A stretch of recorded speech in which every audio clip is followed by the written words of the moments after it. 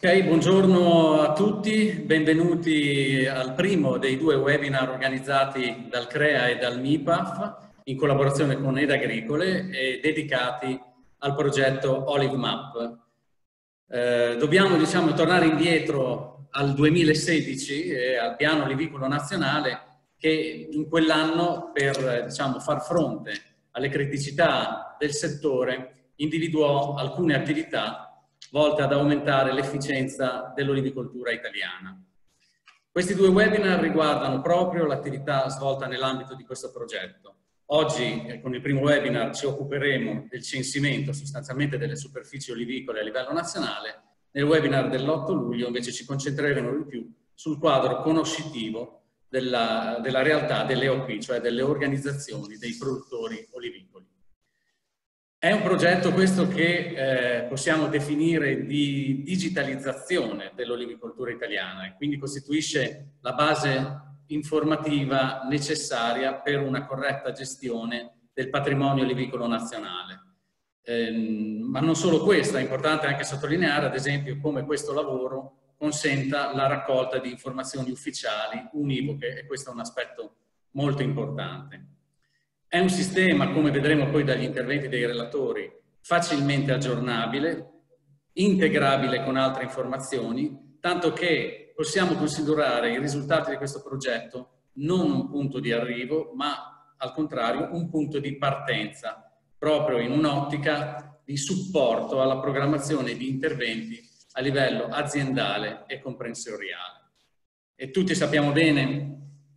quanto abbiamo bisogno, quanto l'olivicoltura italiana abbia bisogno di riguadagnare competitività, eh, la concorrenza con la Spagna in particolare è sempre più eh, difficile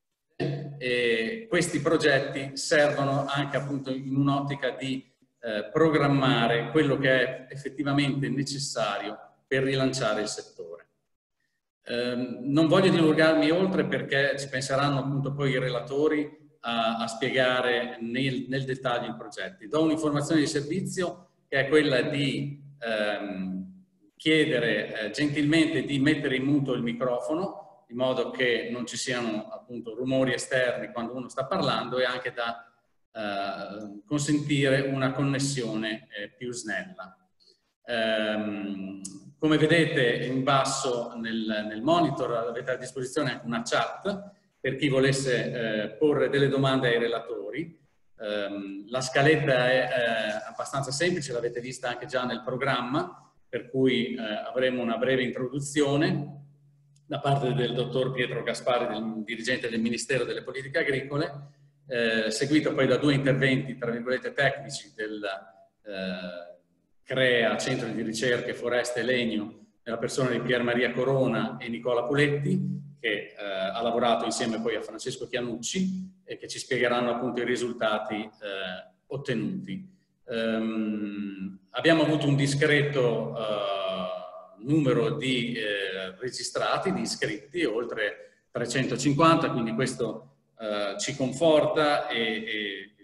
ci dà un'idea di quanto sia sentito uh, il problema e, e quindi abbiamo bisogno di informazioni per appunto, come dicevo prima, ridare competitività al settore. Non mi dilungo oltre, eh, spetta quindi a Pietro Gasparri, dirigente del Ministero delle Politiche Agricole, a dare il via ufficialmente, diciamo così, a questo webinar, a introdurci al progetto Olive Map, a spiegarci come è nato, con quali obiettivi eh, è stato studiato. Dottor Gasparri, a lei la parola. Bene, benissimo, grazie. Eh, buongiorno a tutti. Eh, sono molto eh, contento di partecipare questa mattina a questo eh, webinar che, eh, come diceva prima il dottor eh, Bortolozzi, è il primo di due webinar per illustrare i risultati del progetto Olive Map, che è il progetto che eh, l'acronimo vuol dire mappatura dei fabbisogni di investimento e monitoraggio dell'olivicoltura italiana. Come detto, eh, questa esigenza nasce dal, dal, piano olivicolo del 2016, che è stato un piano che è stato condiviso anche dalla conferenza Stato-Regioni, per cui è un'esigenza condivisa non solo da, a livello eh, governativo ma anche da, da, tutte le regioni e che poi è stato eh, diciamo, declinato dal decreto interministeriale 3048 sempre del 2016 il quale aveva tra le sue modalità attuative proprio quella di ehm, favorire dei programmi di ricerca e sviluppo a livello nazionale mh, finalizzati alla definizione di modelli produttivi specifici per le diverse olivicolture territoriali, comprese le olive da mensa, e per il trasferimento e l'applicazione delle recenti innovazioni e, e, i risultati della ricerca indirizzati all'incremento qualitativo e quantitativo della produzione nazionale. Ovviamente eh, noi abbiamo individuato nel CREA, che che è il nostro ente di ricerca eh, in, in, vigilato dal Ministero con eh, dislocazione anche a livello eh, territoriale nelle diverse regioni, come il soggetto adatto per attuare questo, questo, questo obiettivo previsto dal decreto del, del 2016 e dal piano olivicolo il quale poi eh, l'obiettivo strategico poi di, del, del, progetto è quello di garantire, come veniva anche detto prima di me, un coordinamento tra i vari dati sul settore olivicolo per a, a cercare di arrivare a avere delle informazioni univoche, eh, confrontarle, ehm, integrando appunto le basi dati disponibili eh, utilizzando anche i recenti strumenti che la tecnologia mette a disposizione ehm, e eh, ovviamente soprattutto il telerilevamento. In tutto questo ehm, per incrementare il livello di dettaglio delle, delle informazioni eh, sull'olivicoltura nazionale. Ehm, sono molto diciamo, eh, soddisfatto dei risultati che eh, ho avuto le anticipazioni, ma anche leggendo un articolo che è uscito qualche mese fa su Terrevita che già davano eh, informazioni su come si stava svolgendo il progetto e anche sono stato uh, molto soddisfatto dal fatto della collaborazione che c'è stata nell'ambito degli enti chiamati a realizzare il progetto tra sia nel rapporto con le associazioni dei produttori e per quanto riguarda uh, la, la, task che riguardava il, le, le, organizzazioni dei produttori loro, uh, per individuare le loro criticità e tutte le possibilità di sviluppo che potranno avere per incrementare la, e sostenere la produzione dell'olio sia quella invece che eh, si è avuto a livello diciamo, più um, istituzionale tra il CREA e l'AGEA con un protocollo d'intesa che hanno avuto per, proprio per condividere eh, le informazioni dei dati, soprattutto uh, per il telerilevamento, per mettere a sistema tutto questo che, eh, le informazioni che erano necessarie per garantire appunto il raggiungimento di questi obiettivi. Oh, come è stato detto, il, il progetto si orienta su due task, una uh, orientata per um, eh, la, ristrutturazione, la, ristrutturazione, del settore olivicolo e, e, per individuare le criticità e le opportunità. E questa è stata pensata andando appunto a, a verificare il ruolo che le organizzazioni produttori potessero, possono avere in questo settore, sono molto importanti, noi sappiamo che la prossima PAC avrà ancora più ehm, punterà ancora di più sulle OP e pertanto voglio, però la politica comunitaria chiede OP ehm, diverse, nel senso OP che facciano un'attività che sia a sostegno della produzione, ma anche che possano avere una valenza sulla commercializzazione del, del prodotto, l'aggregazione dell'offerta e il, ehm, che, cui, che, gli consenta ver veramente di, di essere a supporto dei produttori per ottenere anche una remunerazione adeguata al prodotto che come dicevamo prima, subisce tanta concorrenza anche dal prodotto comunitario che viene a, a prezzi veramente stracciati, per cui valorizzare il prodotto nazionale è una, è una, è una um, cosa indispensabile per poter garantire un futuro al settore. E poi la seconda task invece che riguarda più l'aspetto diciamo, della messa a sistema di tutti i dati, di tutte le tecnologie con eh, appunto il telerilevamento che ha, ha avuto, oh, che poi è stata incentrata, è stato fatto un focus sulle due, tre regioni maggiormente produttive a livello nazionale che sono la Calabria, la Puglia e la Sicilia per poter evidenziare le caratteristiche dell'olivicoltura ter territoriale, tutti i vari aspetti e per consentire poi alla fine questo progetto deve servire sia a decisori politici nazionali ma anche a livello regionale per rendersi conto in tempo reale o quantomeno il più possibile mettendo a sistema poi tutti i dati disponibili quali sono le esigenze del settore per poter programmare poi sia gli interventi che saranno possibili a livello nazionale, ma soprattutto quelli a livello regionale, penso ai PSR, ai futuri PSR, alle possibilità di mirare gli interventi in, riguardo alle effettive esigenze che emergono dai vari territori. Ehm, detto questo, io mio, eh, sono uh, ad ascoltare anch'io, come, come gli altri, i risultati che ci verranno elencati successivamente. Grazie. Grazie dottor Gasparri. Eh, vediamo allora appunto quali sono le prospettive che si aprono grazie a questo lavoro e come questo lavoro sia servito non solo ad aggiornare l'entità delle superfici olivicole, ma anche integrandosi con altri dati a ottenere ad esempio delle cartografie tematiche utili appunto per meglio programmare e gestire l'olivicoltura italiana. Magari dopo poi con il dottor Gasparri torniamo anche su aspetti, tra virgolette, un po' più politici, perché comunque parliamo dell'olivicoltura. ehm, dicevo appunto, vediamo le prospettive soprattutto che si aprono grazie a questo lavoro. Eh, passo la parola a Pier Maria Corona, professore del centro del CREA, Centro di Ricerche Foreste e Legno. Grazie, grazie anch'io, sono molto contento di poter presentare questi che possiamo dire è una base della olivicoltura 2.0. È un primo tassello con, eh, importante, molto significativo, data la sua espansione di carattere nazionale, che per creare una banca dati eh, univoca, integrata, innovativa, come base per le, qualsiasi politica di settore.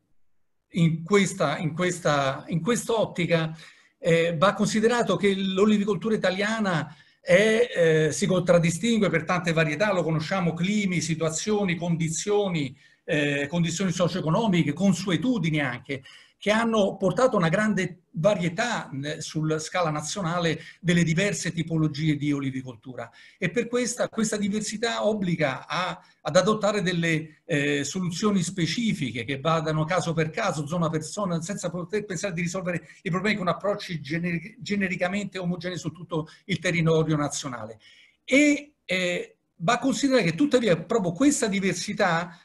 che nel nostro paese è stata sempre molto ben descritta anche da un punto di vista qualitativo, per alcuni versi ha, eh, aveva delle lacune sotto il profilo eh, quantitativo e quindi c'era bisogno di conoscere eh, meglio in modo concreto, appunto con una base tematica aggiornata e eh, rigorosa, eh, qual era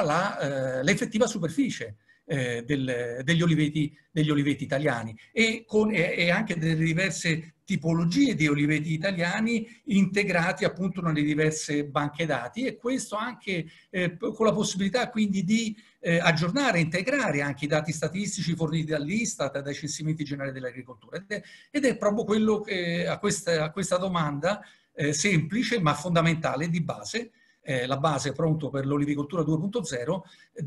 ehm, che è stato eh, avviato questo progetto Olivemap, Olivmap eh, nell'ambito del, eh, del, piano olivicolo nazionale e è un progetto di, fondamentalmente di servizio, un progetto di supporto tecnico. Eh, ricordo che all'interno del piano olivicolo eh, nazionale il CREA ha anche un'ampia attività eh, di, più di carattere strettamente di ricerca, eh, eh penso a, ad esempio al completamento del, sequenz del sequenziamento eh, del genoma dell'olivo, un, un, progetto particolarmente importante, oltre che alla caratterizzazione delle olive eh, da mensa, all'innovazione di carattere tecnologico. Questo progetto invece voleva rispondere proprio a una eh, concreta esigenza di carattere operativo nel, nel breve termine e cioè la digitalizzazione e la mappatura delle superfici eh, oliveta, olivetate in modo da fornire una banca dati univoca eh, di questo settore. E eh, la, la, la, come verrà descritto poi dall'intervento che, che, verrà su, subito dopo, la tecnologia di riferimento una tecnologia eh, ampiamente collaudata, è quella del telerilevamento da piattaforma aerea, le ortofoto eh, digitali, interpretazione e analisi quantitativa delle ortofoto digitali, che però è stata eh, approcciata anche con un sistema anche di carattere eh, innovativo per tanti aspetti eh, particolari che poi verranno descritti, che però mi pare qui eh, interessante evidenziare, ad esempio l'integrazione con tutto il software messa a disposizione da, da, da, Google Street View, che permette lì dove ci sono delle difficoltà di interpretazione, perché talora, la, la, conosciamo tutti, la nostra olivicoltura eh, eh, non è in molti casi, e diciamo nella gran parte dei casi, un'olivicoltura intensiva, ma un'olivicoltura estensiva, dove ci sono eh, ad esempio varie specie in, a, a, accanto all'ulivo, la difficoltà anche di riconoscere certi stadi preforestali da certi certi eh, oliveti che sono più o meno eh, con una gestione molto molto eh, estensiva. Allora, in molti casi, ad esempio, è stato molto utile un'integrazione con eh, anche strumenti quali Google Street View, che permette di andare a vedere lì dove ci sono olivi anche senza dover fare controlli a terra diretti e che eh, questo è chiaro che le verifiche in campo sono sempre necessarie, ma eh, è, è quantomeno opportuno per ridurre tempi e costi di rilevamento anche poter utilizzare strumenti eh, di questo tipo innovativo. Un altro aspetto mh, particolarmente importante e di cui eh, per certi versi credo che è stato un prodotto eh, concettuale ma fondamentale soprattutto in vista di riferimento per i futuri aggiornamenti della mappatura è una definizione univoca di che cos'è super, una superficie olivicola. È che è chiaro questa avere una definizione rigorosa, quantitativamente univoca, eh, permetterà poi di fare confronti multitemporali e anche confronti tra eh, diverse banche dati senza ingenerare equivoci o confusioni che talora hanno, dato, hanno potuto generare appunto una disparità di dati che eh, arrivavano da eh, diverse fonti. Ovviamente, essendo una mappatura su base digitale, eh, tutto questo viene implementato all'interno di un sistema informativo territoriale che quindi ha la grande opportunità di potersi integrare con tutte quelle che sono le banche dati su base spaziale, su base eh, geografica che possono, essere, eh, che possono essere disponibili, a partire dalla, da, dalla semplice eh, modello digitale del terreno che per esempio ci permette di individuare quali sono i eh, non so, gli oliveti che sono terrazzati da quelli che non sono eh, terrazzati e quindi già possono dare delle in, indicazioni da un punto di vista di quelle che sono le, eh, anche le modalità gestionali e le opportunità le potenzialità da un punto di vista eh, gestionale. Sicuramente particolarmente importante in questa, in questa, in questa ottica è stata la integrazione eh, con il database e con la banca dati Sigrian, cioè la banca dati delle aree irrigue, che permette così di eh, identificare all'interno di quelle che abbiamo detto delle regioni focus eh, le, tutte quelle che sono le aree potenzialmente servite da eh, fornitura idrica che all'attualità alla luce dei dati raccolti rappresentano circa il 17% degli oliveti in Puglia, il 12% in Calabria e il 18% in Sicilia, ma accanto a, a queste eh, banche dati è possibile anche, ripeto, eh, in prospettiva integrare con altre informazioni, quelle che possono essere la, la, la ad esempio le, le, sistemazioni agrarie, le tipologie di suolo e così via. Questo è particolarmente importante, su questo, eh, ripeto, il CREA eh, in tutti i suoi vari centri che si occupano di, in modo diretto in questo settore, in modo diretto ovviamente il centro di ricerca olivicoltura, frutticoltura e agrumicoltura, eh, che è il centro appunto che porta avanti i tre progetti eh, di ricerca importanti all'interno del piano olivicolo nazionale, compreso quello che riguarda il completamento del, sequenz del sequenziamento eh, del genoma dell'olivo e ehm, così come anche il Centro Politiche e Bioeconomia appunto che ha realizzato il, databa il database eh, Sigrian. Eh, questa integrazione permette la derivazione di ulteriori cartografie tematiche eh, di variabili significative proprio ai fini della programmazione eh, e gestione dell'olivicoltura. La prospettiva è anche eh, sia ai fini dell'aggiornamento, sia ai fini del eh, rilevamento di dati eh, ulteriormente significativi ai fini della gestione, anche eh, la possibilità in relazione a quelli che sono anche il piano nazionale di telerilevamento, di utilizzare anche altri strumenti. Io non nego che per me una delle prospettive particolarmente interessanti in questo settore sarebbe la possibilità di avere a livello nazionale una copertura di dati LIDAR, eh, cioè di un telerilevamento attivo che, eh, basato su misure di distanza attraverso impulsi LADER che mi permette di avere una rappresentazione tridimensionale. Abbiamo la mappatura, sappiamo dove sono gli oliveti, potessimo avere anche una rappresentazione tridimensionale di questi oliveti sarebbe particolarmente importante soprattutto soprattutto in un'ottica di intensificazione della cultura, non solamente per, un, per, una cosa semplice qual è la conta degli alberi degli ulivi, ma anche per quanto riguarda proprio l'architettura delle chiome, la, la loro spaziatura, eh, il loro sviluppo e questo, eh, però questa è una prospettiva futura. Avevamo bisogno di una banca dati eh, di base, che è quella che è stata realizzata, che riguarda la mappatura sulla quale è possibile costruire anche molto di più di quello che oggi abbiamo.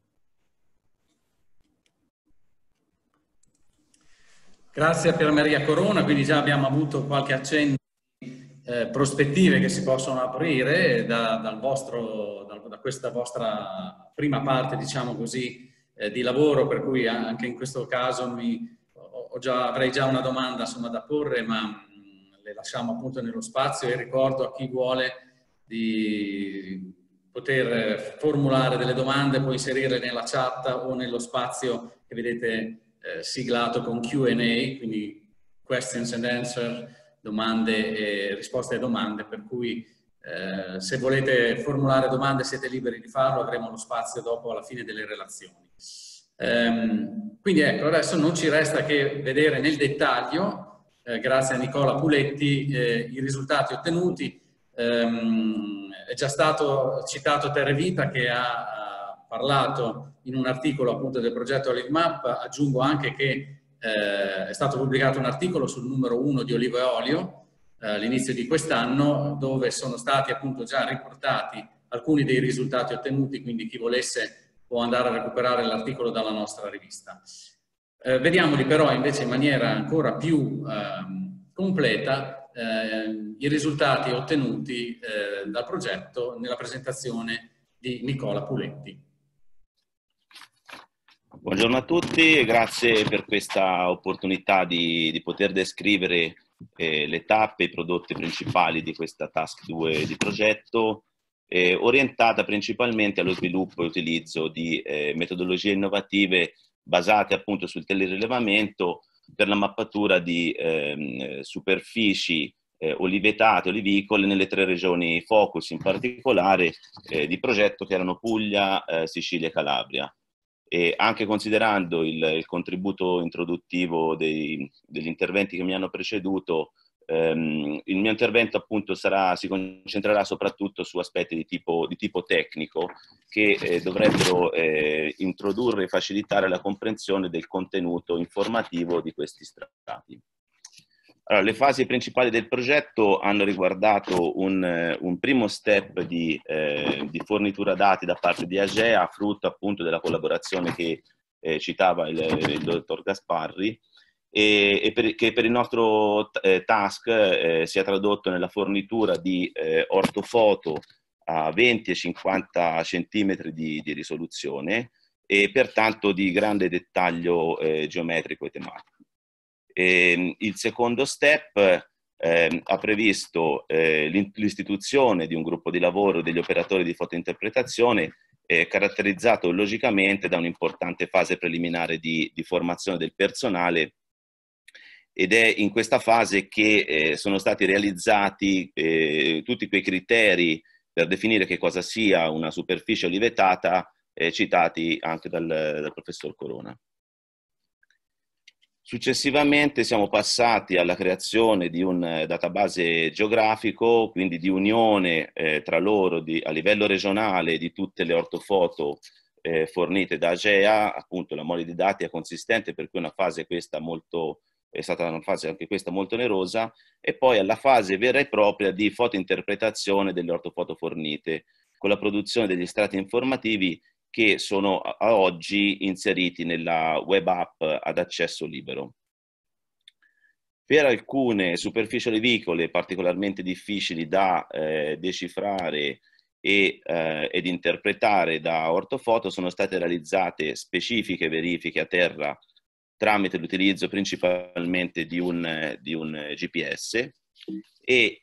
infine, ehm, il, negli ultimi mesi di progetto, con il supporto tecnico di una, di una ditta informatica specializzata, abbiamo eh, realizzato eh, appunto la web app ad accesso aperto per la,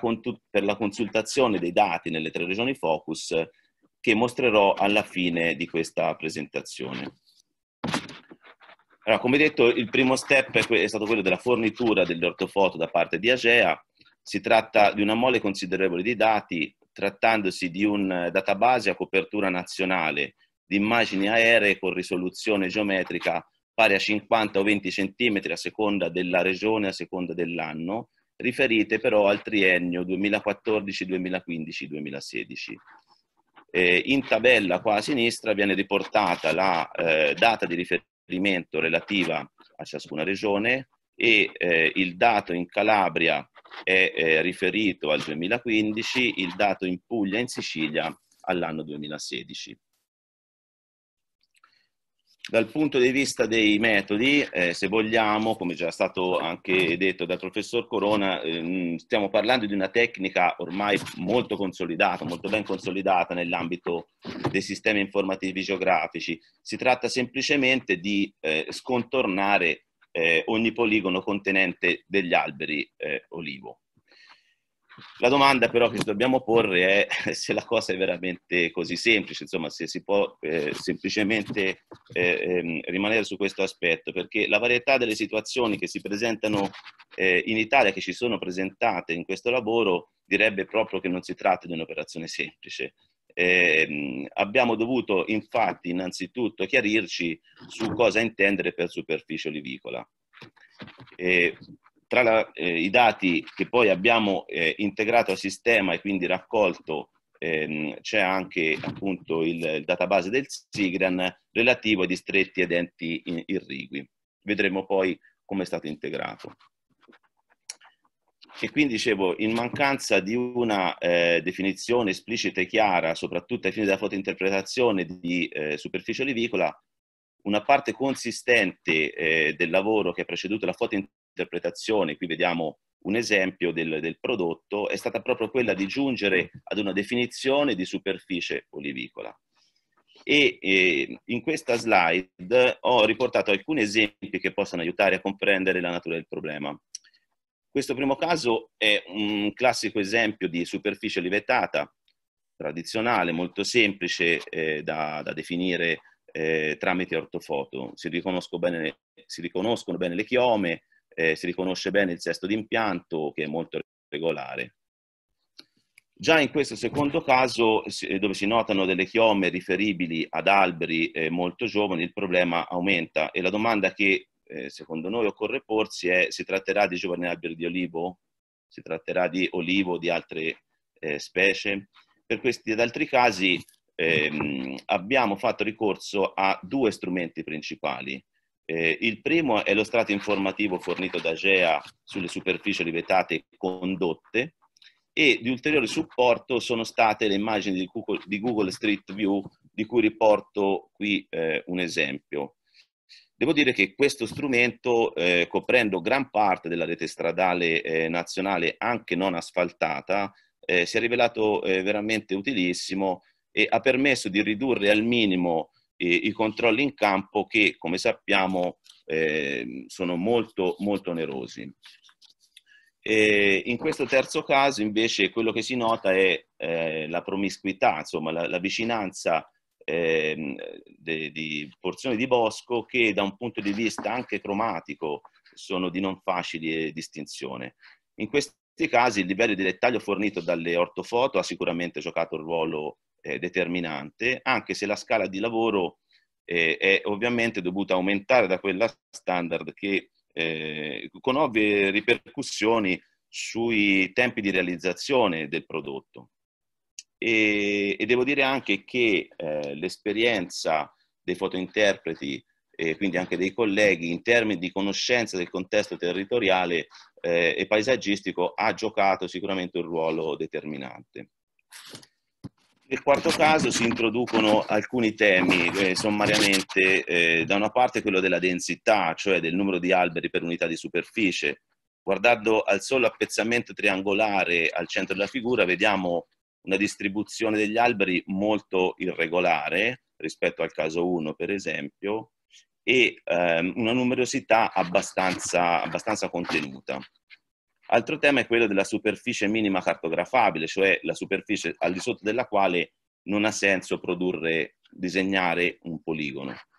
E se prendessimo in considerazione solo questo appezzamento eh, triangolare al centro dell'immagine avrebbe senso, ci siamo andati di, di, di, di parlare di superficie olivicola. Ecco, abbiamo definito una soglia di 5.000 metri quadri al di sotto della quale non abbiamo cartografato. E infine c'è il tema dell'interdistanza tra gli appezzamenti, cioè quando tra appezzamenti di eh, olivo eh, l'interdistanza è inferiore a 10 metri, abbiamo deciso di accorpare tra loro i poligoni.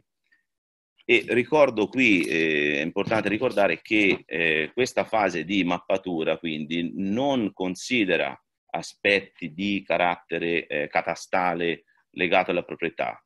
ma è soltanto una discriminazione di ciò che si riesce a percepire, a vedere tramite queste ortofoto. Parallelamente a questo principio della dimensione minima riferito al caso 4, in questo caso 5 si introduce il, il principio eh, della larghezza minima del, dell'appezzamento. Eh, noi abbiamo deciso, ad esempio, che una, un solo filare di olivo eh, di larghezza inferiore a, a 20 metri non poteva essere considerata superficie olivicola. Ed infine, eh, in questo caso 6 mostra una situazione eh, anche qui di eh, effettiva mescolanza di, di colture, eh, cosa che ci ha indotto a eh, introdurre il criterio, il principio di composizione specifica eh, dell'appezzamento.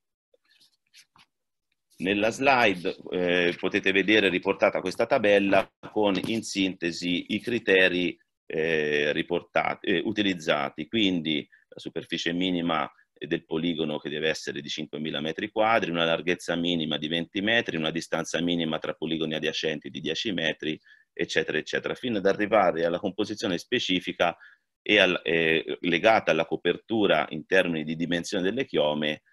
ehm, che ci è servita appunto per definire le superfici olivicole. Passando ai risultati, eh, il primo è evidentemente eh, quello della eh, mappatura in continuo delle superfici olivetate nelle tre regioni Focus, Puglia, Calabria e Sicilia e poi anche nel resto d'Italia. Eh, si tratta di un lavoro che ha impegnato, eh, facendo, devo dire, delle stime eh, ad occhio ma tendenzialmente al ribasso, qualche eh, mese, 20-25 ehm, mesi uomo, quindi 6-7 mesi eh, per tre persone circa nelle regioni Puglia e eh, Sicilia, qualche mese in meno nella regione Calabria e oltre 80 mesi uomo per il resto d'Italia. Quindi le tempistiche eh, principalmente sono legate eh, sia alla superficie regionale, evidentemente, ma non tanto a questo quanto alla facilità o meno di eh, riuscire a distinguere in modo chiaro eh, il fatto che si trattasse di una coltura di olivo, perché spesso e volentieri è capitato di trovarsi in situazioni in cui eh, ciò che era apparentemente olivo invece era alt- altra cosa. E, ehm, per una valutazione di carattere generale, poi ehm, eh, diciamo che in questa tabella abbiamo eh, riportato, ho riportato eh, i ehm, risultati a carattere nazionale, spicca ovviamente la, la Puglia con i suoi 440.000 ettari e seguono la Calabria con 197.000 ettari e la Sicilia 156.000 ettari. Eh, in termini di confronto con eh, altri eh, database nazionali coevi al, al nostro, eh, ho riportato qui alcuni esempi. Ehm, quindi abbiamo l'Istat eh, con 1.142.000 ettari eh, riferito all'anno 2018, Agea che per l'anno 2016 riporta a livello nazionale un milione e poco più di ettari eh, IUTI, che è eh, un inventario quindi ehm, degli usi del suolo basato su un campionamento per punti, quindi non si parla di mappatura ma di campionamento puntuale, una cifra eh, anche questa sul milione e 120 mila ettari. E eh, infine con il Corrill Cover, che è un progetto europeo che sicuramente molti conosceranno, eh, di mappatura degli usi e copertura del suolo eh, anche questo che si attesta intorno al, al milione e duecentomila ettari. Dal confronto quindi emerge abbastanza evidentemente che il milione e duecentomila ettari mappati dal progetto Livemap sono eh, piuttosto in linea con, con, gli altri sistemi e questo ci ha confortato nel, nel, produrre il nostro lavoro. Evidentemente però il livello di dettaglio prodotto eh, dal nostro progetto è superiore perché utilizza appunto eh, immagini, innanzitutto si parla di mappature, non di, di indagini statistiche o puntuali, e, eh, e poi l'immagine utilizzata e l'ortofoto hanno permesso un livello di dettaglio maggiore. Guardando eh, le tre regioni focus emerge che eh, il 22% della eh, regione Puglia, il 13% della regione Calabria e il 6% della regione Sicilia eh, è interessato da superfici eh, olivicole. La maggior parte eh, sono contenute e congruenti con quanto riportato nel, nel database AGEA delle, eh, delle superfici ehm, e quindi delle superfici presumibilmente condotte. Dall'intersezione con il database Sigrian relativo appunto ai eh, distretti ed enti irrigui, ehm, le superfici olivetate mappate dal progetto sono potenzialmente servite da fornitura idrica per il 17% in Puglia, per il 12% in, in, Calabria e per il 18% in Sicilia.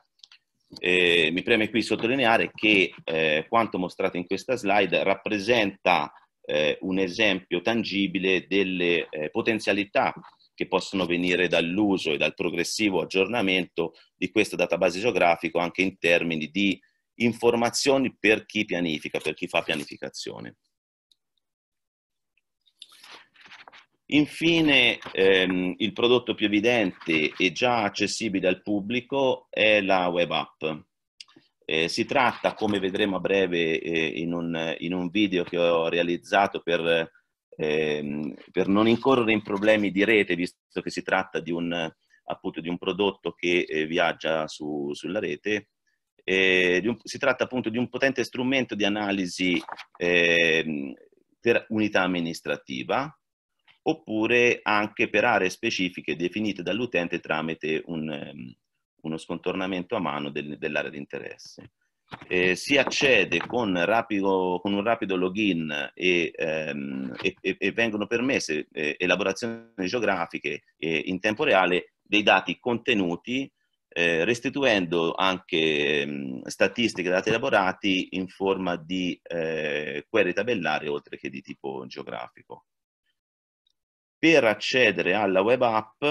eh, la via più semplice è quella appunto di visitare eh, il sito di progetto che è riportato nella slide e a questo punto chiederei alla regia di far partire il video. Grazie.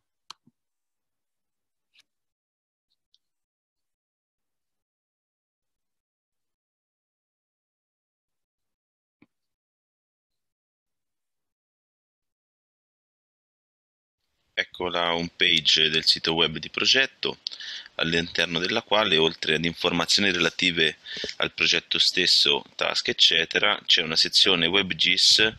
attraverso la quale si può accedere al servizio web app. Il link rimanda a una pagina di accesso e qui è sufficiente inserire la propria email senza bisogno di registrazione. L'operazione ha il solo fine di enumerare gli accessi al servizio stesso e fare statistiche sul suo utilizzo. La web app è strutturata con un corpo principale e una barra laterale, esplodendo la quale è possibile visualizzare tre linguette riferite a tre livelli di indagine, regionale, provinciale e utente. Il livello regionale e provinciale offrono una overview delle tre regioni focus e permette di confrontare in modo diretto i dati delle tre regioni stesse.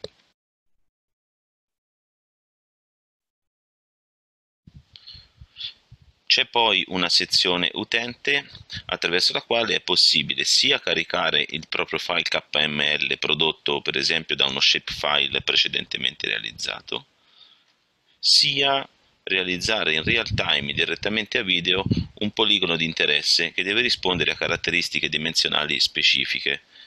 e quindi essere superiore a un chilometro quadrato e inferiore a 200 km quadrati.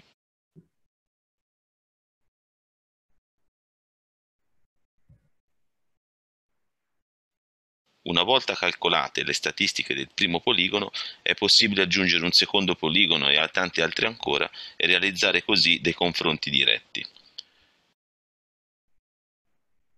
Il servizio ospita infine una sezione che permette di svolgere query tabellari in stile pivot. Attraverso semplici trascinamenti è possibile incrociare informazioni di tipo diverso e ottenere statistiche di base come ad esempio media, somma e massimo delle diverse combinazioni.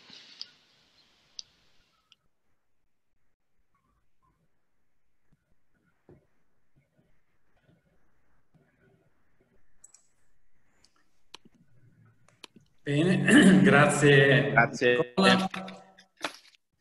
Allora, eh, andiamo, insomma, qui abbiamo anche sottolineato l'interattività molto interessante dell'app, per cui è un altro aspetto da sottolineare. Eh, sono arrivate eh, alcune domande. Eh, intanto rispondo un'altra tipo di informazione di servizio perché qualcuno l'ha chiesto. Eh, noi possiamo rilasciare l'attestato a chi volesse chiederlo eh, e poi eh, sta a voi insomma chiedere all'ordine degli agronomi la, i, crediti, eh, i, crediti, formativi. Eh, c'è anche chi chiede PDF degli articoli pubblicati, manderemo a chi l'ha richiesto il PDF. Due domande, eh, diciamo, eh, tra virgolette tecniche. Una persona chiede se avete usato anche il lavoro fatto per le certificazioni delle DOP e eh, o IGP. È una domanda... Rispondo io? Sì, se, se no, non, abbiamo, non abbiamo utilizzato per la, nostra, per la nostra task non abbiamo utilizzato questo tipo di informazioni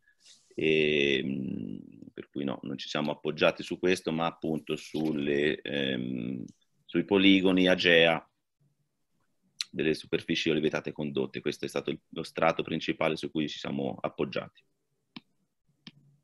Ok, un'altra domanda chiede quali possono essere i possibili rischi dall'esclusione nel database di superfici d'olivo ricadenti nell'esempio 3, cioè oliveti vicini a foreste, nell'esempio 5 oliveti in lunghe fasce, esempio 6 oliveti in consociazione. Forse queste sono forme di coltivazione meno intensive e con un ruolo importante per la biodiversità. Forse più dati sarebbero utili per il supporto pubblico PAC in particolare. Chi, chi vuole rispondere?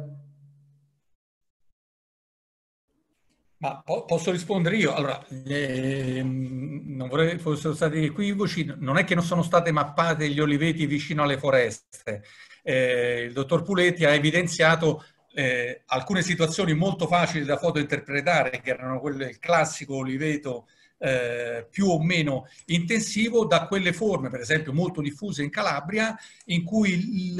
eh, l'oliveto si interfaccia direttamente con superfici forestali e dove ci sono appunto delle formazioni preforestali che entrano quasi in alcuni oliveti eh, abbandonati. Allora in quelle situazioni è stato, non è che non sono stati mappati, l'oliveto è sempre stato mappato secondo quelle regole di mappatura che abbiamo, eh, che sono state definite in relazione proprio alla composizione eh, specifica. Per quanto riguarda i, i, filari, ad esempio, di olivo, che certamente questi potevano essere, eh, potre, possono avere un loro interesse da un punto di vista paesaggistico e di confronto della eh, biodiversità, nel, nel, nel, supporto della biodiversità in termini di eh, corridoi ecologici e quant'altro, però teniamo conto di quali sono eh, gli obiettivi eh, del piano olivicolo nazionale, i principali obiettivi del piano olivicolo nazionale e in particolare del progetto Olivemap che era come eh, di creare una base per eh, una sostanzialmente una valorizzazione soprattutto in primis ai fini produttivi e lo sforzo interpretativo che avre- sarebbe dovuto eh, essere messo in campo per andare a interpretare e mappare anche singoli filari eh, di olivo che sicuramente da un punto di vista della biodiversità hanno un grande interesse, però in questo caso era in qualche modo non proporzionato a quello che erano le possibilità economiche e tempistiche eh, del progetto stesso. E quindi, eh, l, voglio dire, il, il, il riferimento comunque teniamo conto che l'unità minima di larghezza è stata 20 metri, cioè tutti i filari che nel loro complesso sono due olivi già, in molti casi già siamo più di 20 metri, eh? quindi tutti i filari che hanno una larghezza di, di più di 20 metri sono stati, sono stati, mappati. Non sono stati mappati eh, probabilmente molti filari di, di singolo olivo, molti o, o, pochi, ora non lo sappiamo perché non sono stati mappati, ma ecco, però voglio dire è una porzione che sotto il profilo poi di quella che è la valorizzazione multifunzionale dell'oliveto oggettivamente ha ricompreso, credo, la quasi totalità insomma, del, eh, delle situazioni eh, che si trovano sul nostro territorio nazionale. Grazie. Ehm, per quanto riguarda le, le, banche dati delle doppie IGP, eh, ritorna a chiedere l'interessato, potevano essere trovate maggiori informazioni di dettaglio, varietà, assesti, irrigazioni. No, ma questo, questo, però volevo dire, questo assolutamente sì, questo è interessante, ma questo è proprio l'obiettivo di un database di questo genere. Avendo a disposizione, è quello che dicevo prima, questa è la base dell'olivicoltura 2.0. Tutto quello che vogliamo fare da adesso in poi, quella che potrà essere, come viene fatto in altri settori della nostra agricoltura in modo già molto pregevole, pensiamo alla viticoltura, tutta quella che può essere anche un'olivicoltura di precisione, adesso una banca dati conoscitiva sulla quale può essere appoggiata qualsiasi altra banca banca dati in modo, poi quando si, si, incrociano banche dati non è che le cose sono poi così semplici come può sembrare, però ci sono tutte le esperienze tecnologiche e possibilità per procedere in questa direzione. Assolutamente proprio questo è lo scopo, così come ha fatto vedere il dottor Puletti come esempio per il database Sigrian. Del database Sigrian a me quello che mi interessa non è tanto sapere, cioè da un punto di vista nazionale mi interessa sapere che eh, ad esempio in Puglia il 17% è a scopo irriguo, ma quello che mi interesserebbe adesso se io fossi eh, un, un, produttore o un, un'organizzazione di produttoria, ho quel territorio lì, quel comprensorio specifico lì, dove vedo che ho i, eh, gli oliveti mappati e riportati e che hanno questa certa distribuzione geografica. Singolo oliveto per singolo oliveto mi rientra dentro l'area irrigua, ecco adesso questo può essere fatto semplicemente con un clic attraverso la banca dati messa a disposizione. Quindi questo potrà essere fatto, questa stessa integrazione, sovrapposizione, domande, informazioni, possono essere fatte con qualsiasi altra banca dati che abbia un supporto digitale e che ovviamente con, dovute, con le dovute modalità di, eh, diciamo così, tecniche eh, di... Eh, comparazione e sovrapposizione delle banche dati che possano, che devono, ovviamente le banche dati si, si, devono parlare, ma questo è un problema tecnico eh, in genere facilmente superabile. Grazie Pier Maria Corona. Che torni fuori la questione appunto, eh, che è un punto di partenza questo, non un punto d'arrivo, quindi c'è, ancora del lavoro sicuramente eh, da fare, però era importante partire. C'è un'altra domanda specifica. Eh, l'olivicoltura in siti storici, ville, tenute, eccetera, è una tipologia importante del patrimonio olivicolo italiano sicuramente rispondente ai requisiti minimi di dimensione. Sono stati presi in considerazione questi ambiti così importanti per il valore storico, culturale, produttivo, biologico e paesaggistico? C'è spazio per introdurli? Posso dire io, sì. eh, per sottolineare diciamo, un aspetto che ho già detto in presentazione, e, e, cioè il fatto che noi ci siamo occupati di mappare, no? quindi il nostro compito è un po' quello di discriminare ciò che è eh, olivicoltura da ciò che non lo è. E, ehm, quindi non abbiamo considerato questioni legate, come ho detto in presentazione, per esempio alla proprietà, quindi eh, anche il catastale, per esempio, o eh, i siti, come viene citato qua, di interesse storico. Sicuramente, come già stato detto più volte, anche dal professor Corona eh, poco fa, eh, si tratta, il, il, nostro database è eh, disposto e disponibile ad, ad accogliere diciamo, l'integrazione con eh, anche il sistema stesso, con eh, tutta una serie di strati informativi che possono anche andare fuori da quello che è diciamo, lo scopo principale del progetto che è di tipo appunto produttivo, no? l'interesse principale. Chiedono se la mappatura verrà estesa ad altre regioni e se sì, quali. La mappatura l'abbiamo realizzata eh, a livello eh, nazionale, quindi abbiamo sostanzialmente ri, eh, ripercorso tutto il territorio nazionale. Ovviamente, essendo eh, le tre regioni focus,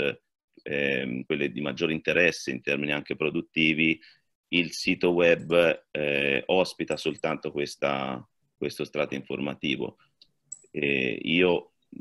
naturalmente dobbiamo un attimo ancora capire, sulle, il progetto non è finito, insomma quando finirà il progetto come potremo uscire con anche la possibilità di rendere disponibili in modo proprio totale questi dati. Ecco. Per ora sono disponibili sul, sul sito web eh, come presentato prima. Qual è il valore aggiunto rispetto alle altre banche dati? Avete pensato a un sistema di aggiornamento costante? La banca dati è nuova ma sembra essere creata sulla base di dati vecchi. Questa era un po' una domanda che avrei voluto formulare anch'io, nel senso che vi siete riferiti al triennio 2014-2016, eh, soprattutto magari in certi contesti il, la situazione potrebbe essere cambiata. Non so se Corona vuole rispondere lui. Allora, due cose. Intanto volevo ribadire che la mappatura è stata fatta su tutta, eh, su tutta Italia, come è stato presentato dai dati, e quindi i dati, la mappatura è stata fatta e con le stesse caratteristiche eh, di dettaglio e con la stessa accuratezza, non solamente sulle tre regioni focus, ma su tutto il nostro paese. Eh, nel database del web GIS disponibile online sono rappresentate per ora solo le tre regioni eh, regioni focus, anche, per considera anche considerata la mole di, eh, di, dati che devono essere eh, la lavorati dal WebGIS. Eh, per quanto riguarda, allora, intanto mh, va detto, eh, è chiaro che le immagini eh, telerilevate hanno sempre una certa, non sono ad oggi le immagini, nel senso soprattutto questo tipo di immagini rilevate, eh, ricordo che sono immagini derivanti da piattaforme aeree, quindi questo ha, vo ha, voluto dire che ci sono stati degli aerei che in quegli anni hanno sorvolato tutto il nostro paese, dopo c'è stato un certo periodo che è servito per... Ehm, diciamo così, processare tutte quelle immagini e renderle eh, disponibili. Certamente, quando eh, nell'ottica di tutto il lavoro anche che eh, viene fatto dal, dal, nostro paese di ripercorrenza nel tempo delle, delle superfici agricole, anche eh, forestali, con eh, immagini rilevate da piattaforma aerea, eh, il processo potrà essere assolutamente eh, ripetuto e ehm, con lo stesso grado di dettaglio attraverso piattaforme diciamo così, attraverso immagini da piattaforme aeree. Eh, che richiedono, che il, ovviamente l'aggiornamento richiederà un tempo inferiore a quello che è stata la prima mappatura. Questo è evidente che sarà per certi versi facilitato da avere già disponibile questo, questo database. Di fatto questo è il lavoro, un aggiornamento ad hoc eh, è in corso, viene fatto perché all'interno di questo progetto eh, stiamo facendo un aggiornamento ad hoc, considerate le problematiche coinvolte per quanto riguarda la regione Puglia, eh, con, considerate le tematiche che eh, conosciamo tutti, e quindi verrà fatto un aggiornamento al, eh, agli, anni, agli anni più recenti. Altre possibilità eh, in tempo reale eh, ci possono anche essere. Pensiamo a quelle che sono tutte le disponibilità di immagini da, e sempre maggiori disponibilità di immagini da piattaforme satellitari. Però teniamo conto che in questo caso eh, le possibilità sono significative e importanti, ma non danno quel grado di accuratezza e, e di finezza e di dettaglio geometrico che eh, può essere permesso dalle, dalle, attuali modalità di piattaforme eh, d'aereo o per talune zone da, da, drone, ma insomma piattaforme aeree per, per una scala nazionale. Penso ad esempio a tutte quelle che sono le possibilità assolutamente importanti del programma europeo Copernicus, che è eh, molto supportato anche eh, dal Ministero delle Politiche Agricole,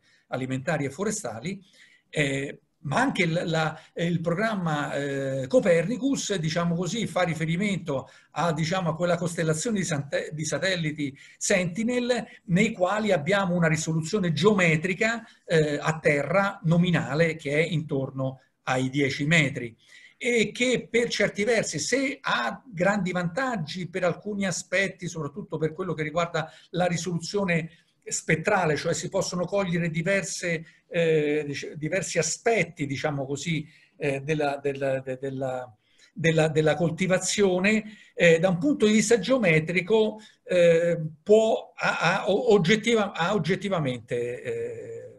oggettivamente dei limiti. Ecco, questo, questo va detto, però insomma, però, questo, però, tutto questo sono strumenti, come dicevo anche prima, eh, gli strumenti, le tecniche leader, sono strumenti che si giustappongono a questa eh, base di dati. Per un aggiornamento, diciamo così, con con lo stesso eh, dettaglio di carattere geometrico, la stessa accuratezza da un punto di vista eh, rigorosamente spaziale, eh, certamente eh, diciamo così, la, la, la,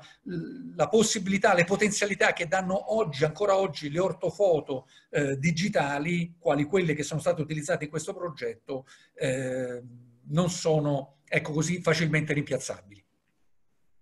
Bene, stanno, stanno, aumentando le domande, quindi vi chiedo magari risposte più sintetiche. Ce n'è una anche politica che lascio in fondo per il dottor Gasparri. Eh, quest'ultimo comunque è stato risposto perché non utilizzare i satelliti, mi sembra che Corona abbia, abbia già mh, spiegato. Eh, altra domanda dice, trovo OlivMap uno strumento molto interessante per metodologia e approccio. Sicuramente ci sono alcune situazioni da tarare. Noto che ci sono alcuni oliveti giovani, 4-5 anni di impianto, che ancora non sono censiti. Sarebbe interessante integrarle con mappe forestali, zone SIC, Natura 2000, zona a rischio nitrati. Quali saranno le prospettive del progetto a termine della sua conclusione? Avete previsto la sovrapposizione con evidenza di oliveti biologici?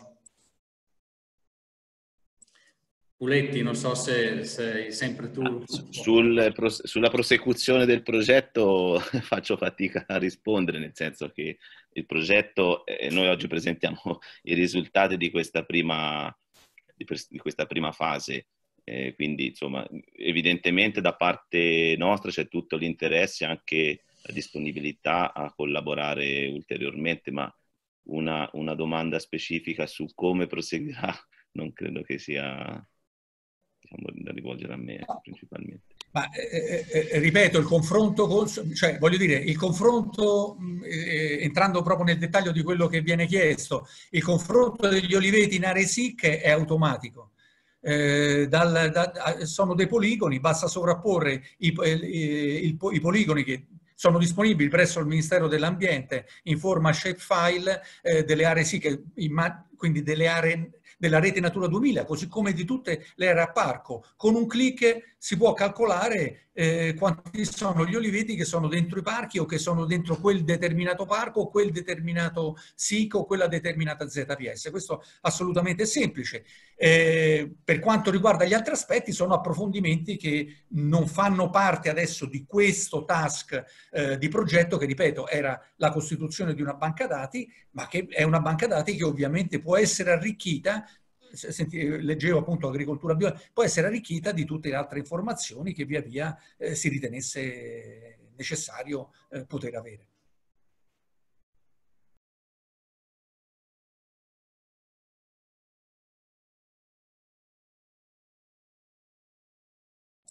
Eccomi, scusate.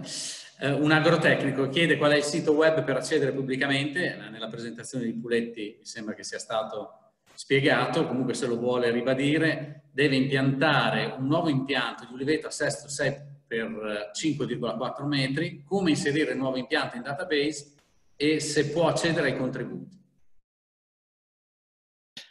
Ok, allora se, se, può essere d'aiuto posso copiare e incollare il link al sito del progetto in modo tale che, come ho fatto vedere nella presentazione, eh, da lì è possibile accedere poi alla web app. Come ho detto nel video, eh, non c'è bisogno di fare registrazione, ma il, l'email serve per, eh, per, per noi, per, per avere un, un, controllo anche degli accessi in parallelo. Quindi è più una questione informatica che non di appunto privacy, registrazione, eccetera, eccetera. E ehm, per quanto riguarda la questione eh, di impiantare un nuovo impianto di oliveto a Sesto 6 per 5 metri si può sicuramente inserire, come ho fatto vedere a mano, eh, la dimensione, del, cioè la, la, la porzione all'interno del database deve essere un, una porzione superiore al chilometro quadrato, quindi mi viene da, da pensare che no, non, non, può essere, eh, perché di fatto il database permette allo stato attuale delle cose, così come è sul WebGIS, dico, di eh, estrapolare delle informazioni che soprattutto sono orientate alla pianificazione territoriale. Quindi eh, per un dettaglio così spinto serve un attimo una, diciamo una, qualcosa di diverso. Ecco. Bene, eh, altra domanda, si potrebbe pensare di coinvolgere anche gli olivicoltori e i cittadini attraverso progetti di citizen science per tracciare gli appezzamenti inaccessibili? Corona sì, credo che annuisce. Devo dire che la, la, la, questione è molto centrata su eh, proprio un'attività che stavamo eh, proprio pensando di eh, mettere in campo eh, già eh, ora eh, con gli eventi che si sono succeduti non dipendenti dalla nostra volontà purtroppo, però ecco l'idea sicuramente immediatamente successiva alla fine della, della, mappatura è stata proprio quella di eh, porci la domanda come eh, aggiornare appunto questo database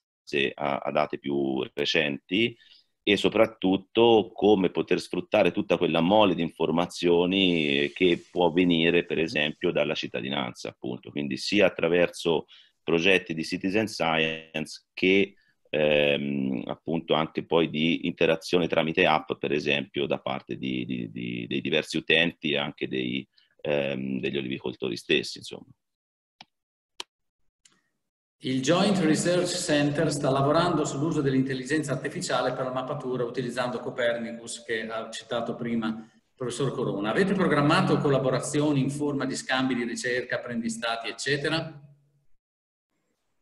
Eh, sul tema della eh, olivicoltura no, di fatto noi su questo tema proprio dell'utilizzo ad esempio del eh, diciamo così, tutte le tecniche di deep learning, costellazione Sentinel, abbiamo grossi rapporti di carattere europeo e ci stiamo attrezzando e abbiamo già eh, avuto dei prodotti importanti su un altro settore che è quello della pioppicoltura. Eh, potrà essere un interesse futuro certamente di ricerca, però è più facile la pioppicoltura dell'olivicoltura. Questo mi permette di dire un pochettino più facile. E, eh, sicuramente questo è un tema di ricerca aperto e interessante. Bisogna essere però anche molto, secondo me, eh, seri. Ad oggi non ci sono, eh, a quello che è la nostra esperienza anche di ricerca, eh, questo lavoro è stato fatto all'interno del, del, centro che dirigo, proprio perché nel nostro centro c'è un laboratorio di geomatica, eh, di cui appunto è responsabile eh, il dottor Puletti insieme col dottor Chianucci e il dottor Chiavetta. E al, allo stato attuale però voglio dire siamo ancora in una fase di test e di... Ehm, cioè che non, è, non siamo ai livelli di accuratezza che ci può assicurare il lavoro fatto eh, di carattere classico, tradizionale, eh, quello che è stato fatto appunto per il progetto Olivemap. Quindi direi ancora una, un aspetto futuribile, però sicuramente è una pista di ricerca particolarmente interessante. Uh, altra domanda, l'aggiornamento coprirà quindi le annate dal 2017 a oggi? La mappatura consentirà anche di mirare gli interventi sulle piante, concimazioni, irrigazioni per gestire al meglio le risorse?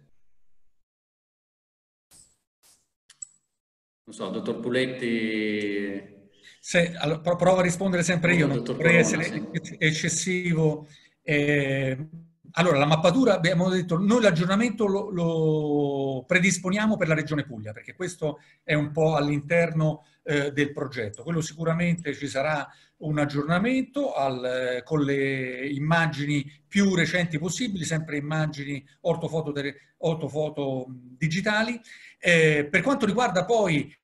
tutte quelle che sono le, applica le applicazioni dell'agricoltura di precisione, ripeto, questo è un database di mappatura sul quale, ad esempio, se eh, incrociato con database de, de, dei tipi di suolo, con i database dell'irrigazione, con altre eh, banche dati, può permettere di arrivare alle, eh, a quelle questioni di carattere tecnico, operativo, strettamente aziendale a cui, riferimento, a cui fanno riferimento queste domande. Ecco.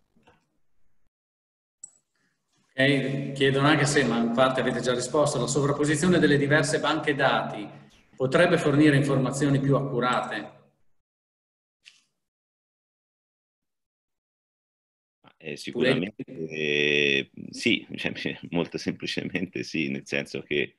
eh, questo, come è già stato ripetuto più volte, insomma, è, è un punto di partenza e eh, la possibilità di sovrapporre al nostro strato informativo tutta una serie di altri strati, evidente, mi sembra evidente che migliori eh, anche per il, per il, gestore pubblico eh, la possibilità di, di, di, ottenere informazioni più di dettaglio, ecco, di pianificare con maggior dettaglio.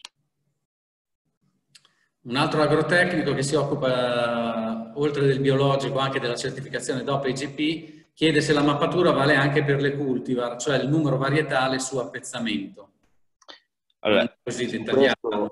Eh, cioè, la risposta sintetica è no, nel senso che eh, noi abbiamo prodotto una mappatura eh, già come ho fatto vedere in alcuni esempi, non ve l'ho fatto vedere tutti evidentemente perché sennò facevamo notte, ma eh, il, il, caso eh, per esempio anche di eh, specie diverse, faccio per, per, dire in Sicilia ehm, il, se non ricordo male, il fico d'India, dal punto di vista spettrale, anche del, del, del, mm, del suo pattern spaziale, no? di, di, arrangiamento, di, arrangiamento, spaziale, era eh, molto facilmente confondibile con l'olivicoltura, quindi già è, è stato complicato eh, distinguere ciò che è olivo da ciò che non lo è. Questo proprio per ridurre poi al minimo eh, i rilievi di terra che sono eh, su, sul livello anche se semplicemente rimanendo le tre regioni focus, insomma, sono molto onerosi come potete immaginare.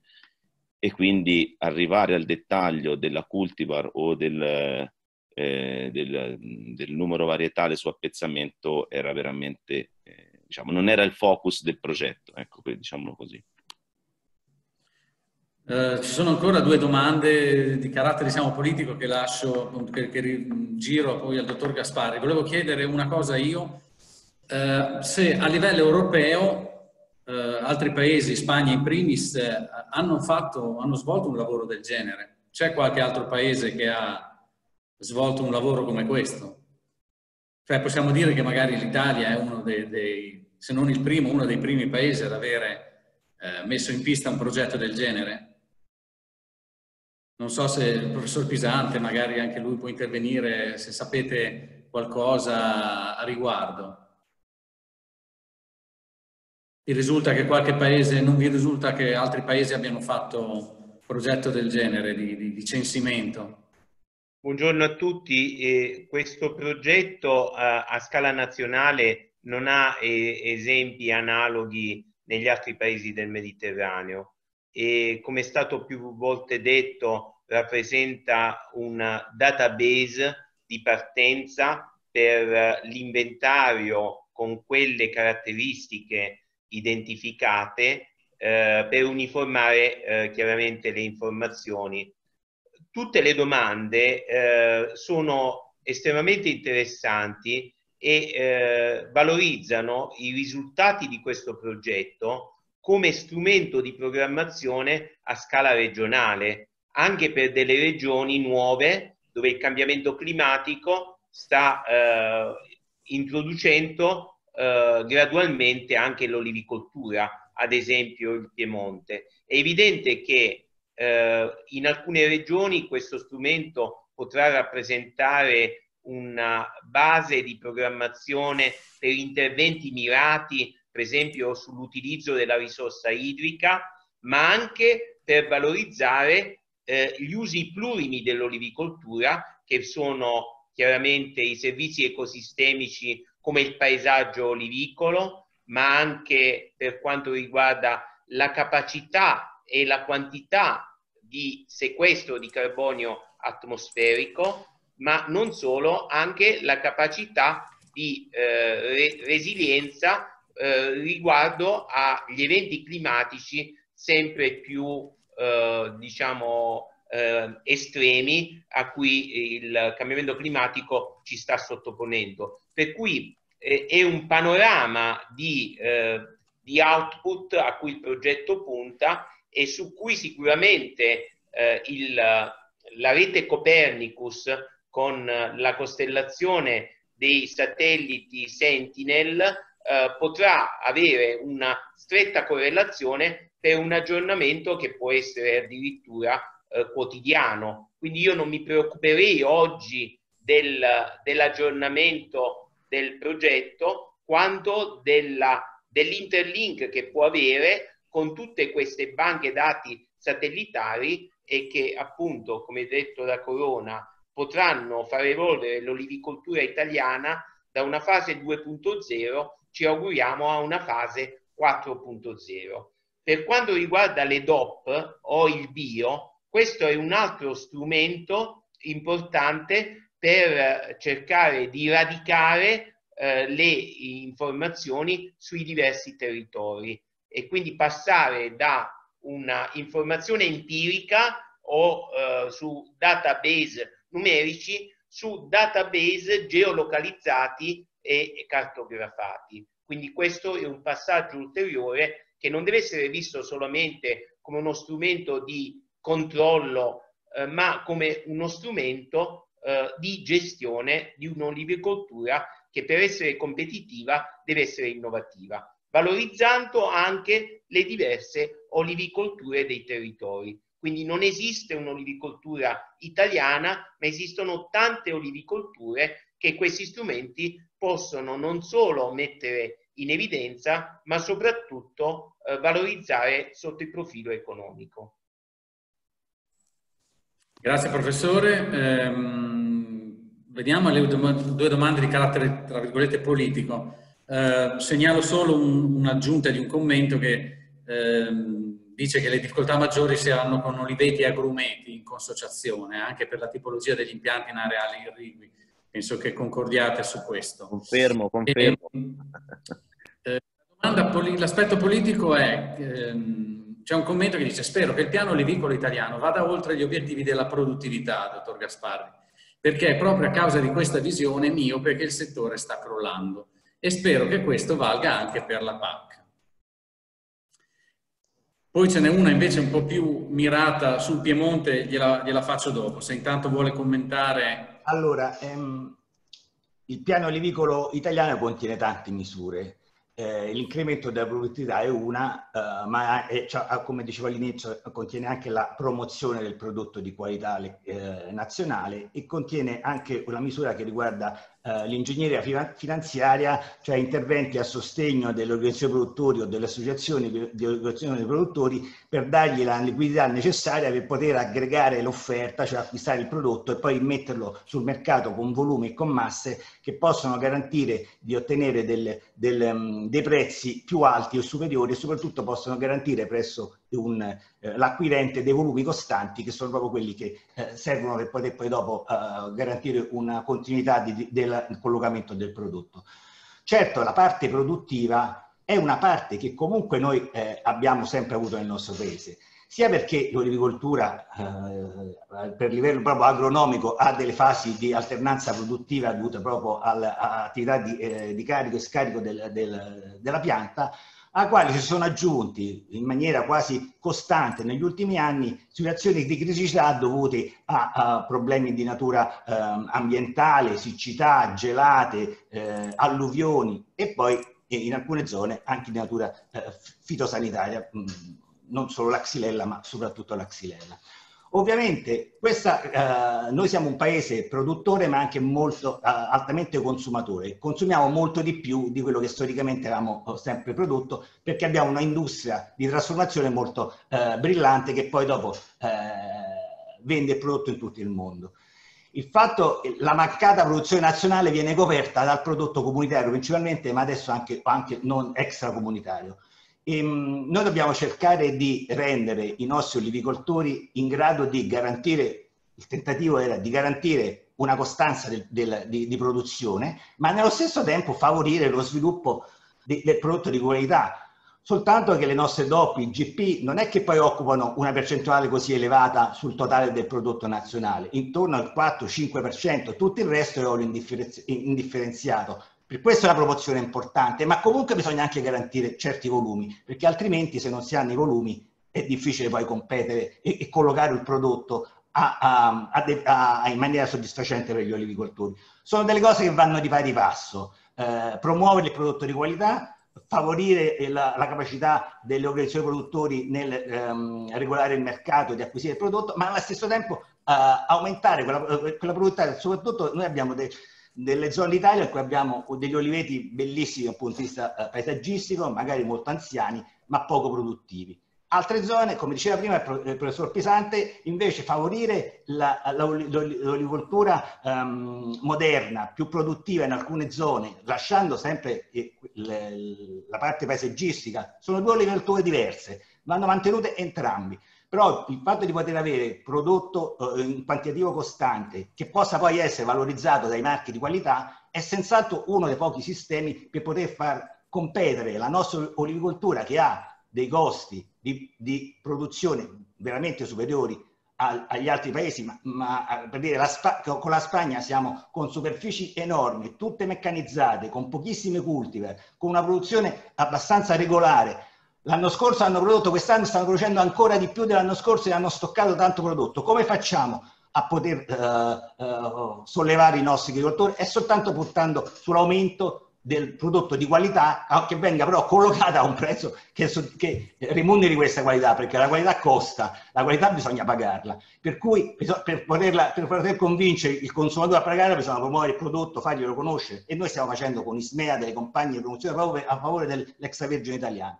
sono tutte attività che eh, si diciamo, intersecano una con l'altra del canno olivicolo e poi dopo insomma noi ci auguriamo che possa avere un successo sicuramente poi ci vuole anche la, eh, il, il, sostegno delle, delle, associazioni dei produttori, degli olivicoltori stessi, dei tecnici.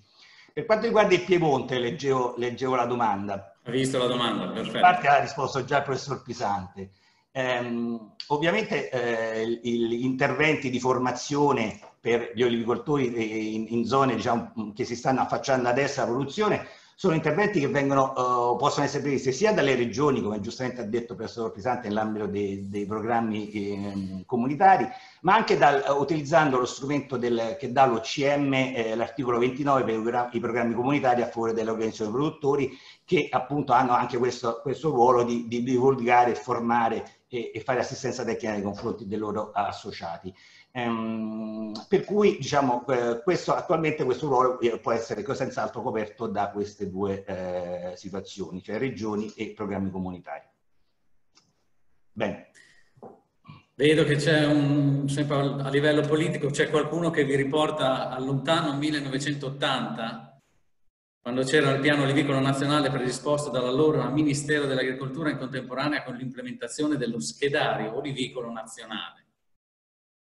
Qualcuno si ricorda di questa cosa? Chiede l'interlocutore.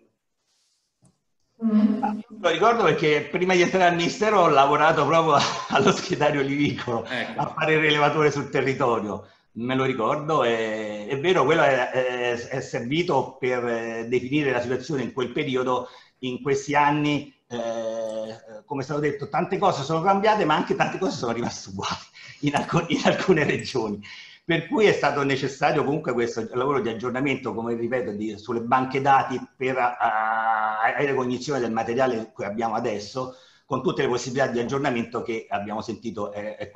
sono consentite dal, dal, dal progetto. Allora, si è adesso aperto un po' il dibattito politico. Eh, la domanda dice, era quella di riconoscere il ruolo multifunzionale dell'olivicoltura in termini di biodiversità, agricoltura sociale, eccetera, se non investiamo e indirizziamo i pagamenti della PAC verso l'olivicoltura biologica, sociale e tradizionale, temo che saremo schiacciate dai mercati internazionali. Eh, da anni le organizzazioni dei produttori lavorano sulla tracciabilità certificata ai sensi della norma 22005 con grandi sforzi e investimenti, quindi una certificazione di origine. Questo prodotto non è premiato dal mercato, ma di fatto si affianca allo strumento del WGP incrementandone notevole quantità. Perché non si parla mai di questa certificazione?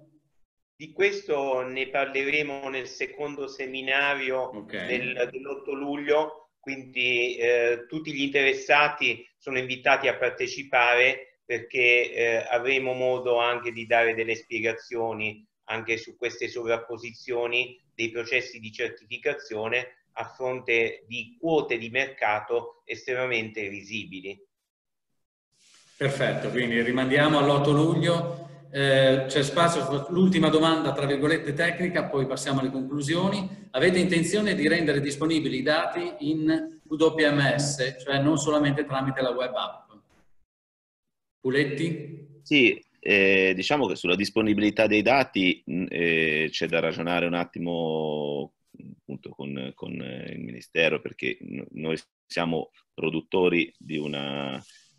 siamo fornitori no? di un prodotto e quindi sulla sua pubblicizzazione, sulla sua diffusione non siamo noi proprietari per cui non possiamo, dobbiamo definire ancora il progetto a un annetto a concludersi in modo formale e quindi in questo annetto sicuramente definiremo anche eh, le regole per uscire fuori dalla web app e, e, rendere disponibile il più possibile questo dato. Ecco. Però non spetta a me rispondere, questa era la questione. Um, n'è entrata un'ultimissima domanda, un oliveto in zona in Toscana dove le condizioni di lavoro sono abbastanza proibitive con conseguente lievitazione dei costi di manutenzione e gestione dell'area. Ho sentito che parlavate di servizi ecosistemici, di preciso cosa, di cosa si tratta e come si potrebbe accedere a tali incentivi? Ma in, innanzitutto per i servizi ecosistemici sono le regioni che nell'ambito dei piani di sviluppo rurale devono identificare dei, degli indicatori di risultato la nuova programmazione dedica a, eh, a tutte le misure agroclimatico-ambientali almeno il 40% del secondo pilastro della PAC. L'olivicoltura può erogare, fornire servizi ecosistemici a vantaggio della collettività e la regione che deve innanzitutto identificare qual è il database quindi la baseline di partenza, e puntare l'obiettivo incrementale in, nel periodo di sette anni di una programmazione. Per cui a, a mio avviso, proprio per il ruolo che svolge l'olivicoltura in alcuni territori del nostro paese, è possibile identificare sia servizi ecosistemici riguardanti il paesaggio, ma anche il consolidamento dei versanti e il ruolo che svolge l'olivicoltura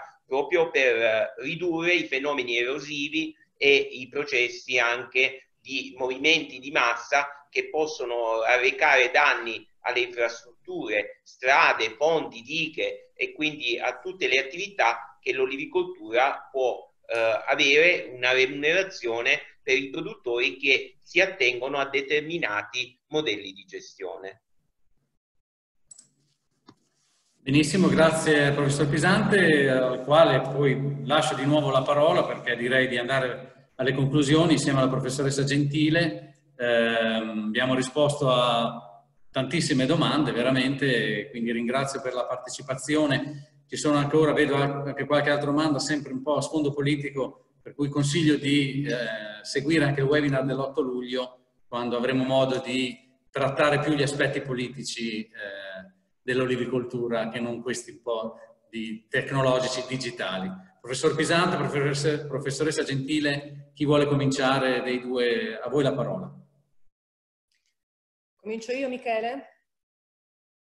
Bene, buongiorno a tutti. Non posso che essere molto soddisfatta di quello che è stato oggi l'incontro, per tanti motivi, perché con il professore Pisante l'abbiamo seguito dall'inizio e perché ritengo che mentre il professore Corona dice questo è un progetto che è stato a supporto, che sarà a supporto, ha utilizzato il termine un progetto di servizio, di supporto tecnico, io ritengo che questo sia veramente la base per far partire da qui e da questi dati una serie di progettualità, un'intensa attività anche di ricerca per poter dare spinta e poter dare quell'impulso alla nostra olivicoltura che, come diceva Michele, è la, le diverse olivicolture, ognuna caratterizzata da um, condizioni orografiche, condizioni sociali, condizioni eh, culturali e culturali assolutamente diverse, ma che certamente rientrano in tre grandi modelli che sono il modello tradizionale, l'intensivo e il superintensivo, laddove c'è, laddove è partito, laddove di fatto c'è già un po' di sperimentazione. Allora,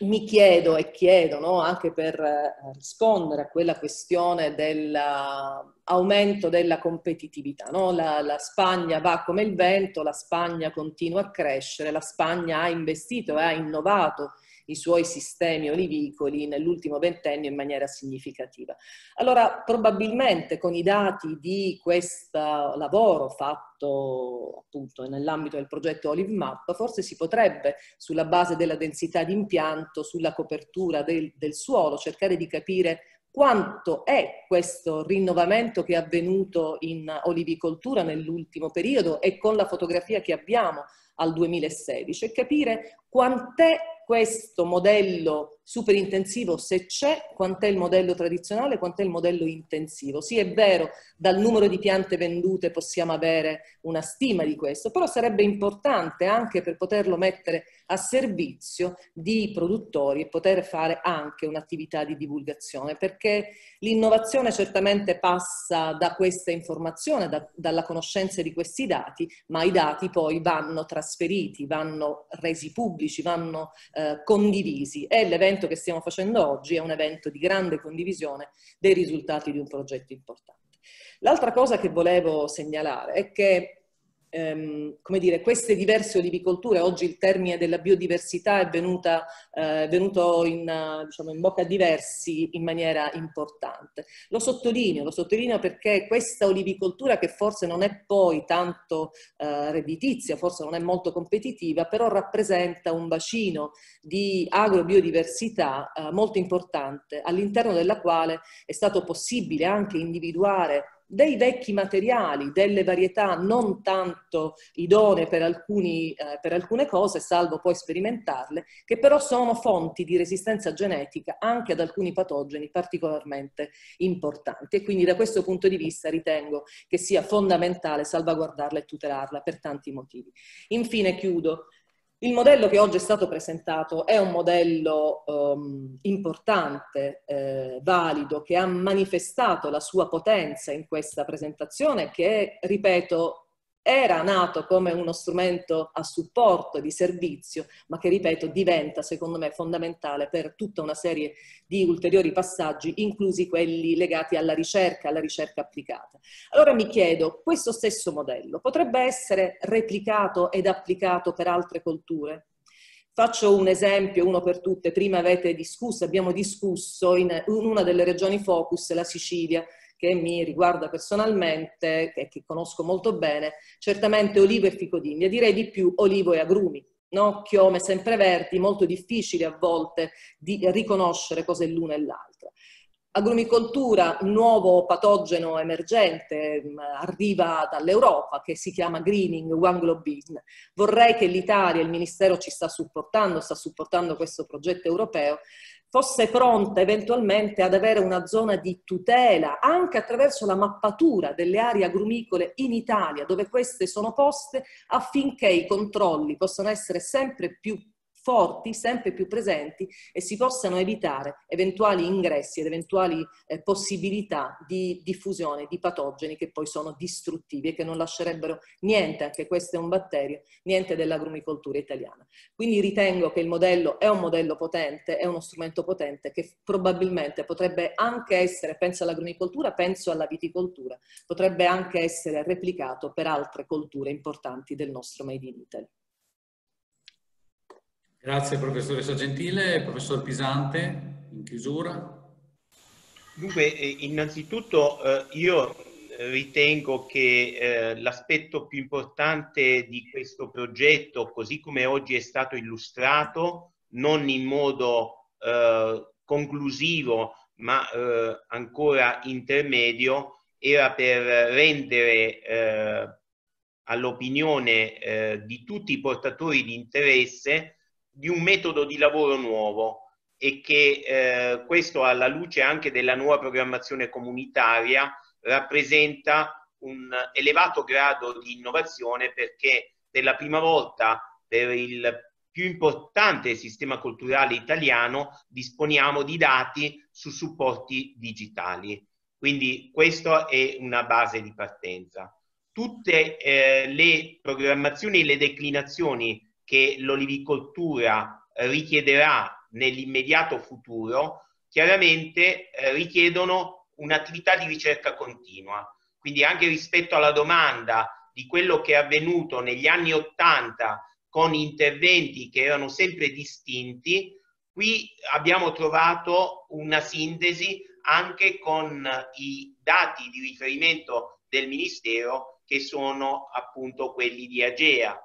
E noi proprio sotto questo punto di vista riteniamo che l'integrazione di questi dati insieme a quelli di Sigrian rappresentino il principale patrimonio per poter programmare in modo consapevole nei diversi territori gli interventi. Ma è chiaro che la ricerca non si ferma qui, anzi eh, uno degli output di questo progetto, e così come è stato messo in luce benissimo eh, dai colleghi precedentemente, è che eh, l'avvento dell'utilizzo di immagini satellitari richiedono la costituzione di library, cioè di librerie di risposte spettrali delle diverse specie di interesse eh, agricolo e anche alimentare, anche per poter assolvere appieno a questo nuovo programma europeo uh, from, uh, from Farm to Fork, su cui tutti spendono grandi plausi,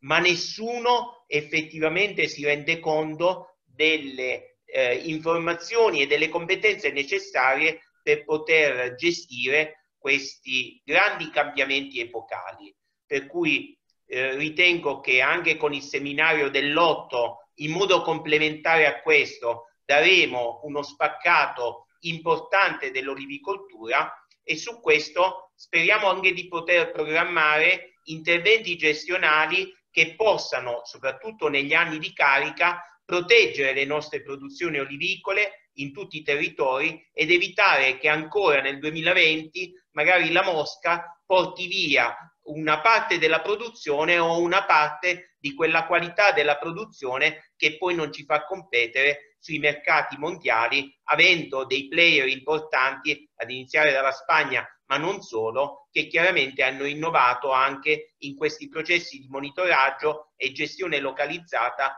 degli interventi, riducendo l'utilizzo della chimica. Per cui noi vogliamo un'agricoltura naturale, ma un'agricoltura che faccia molto ricorso alla conoscenza e questa conoscenza parte proprio da un inventario sistematico che Olivmap oggi rappresenta in questa forma. Per cui eh, ritengo che il link che eh, chiaramente Terre Vita, Olive Olio creeranno anche per il futuro possa rappresentare anche un feedback continuo con i portatori di interesse perché questo progetto ha bisogno anche dell'apporto degli utenti e per cui ci auguriamo che dopo questa fase di limitazione ci possa essere anche l'occasione per un evento che non sia in un'aula o in un cinema per mantenere le distanze, ma in un bello liveto eh, di eh, nuova programmazione, quindi anche con la partecipazione delle regioni che ne vorranno fare un utilizzo razionale.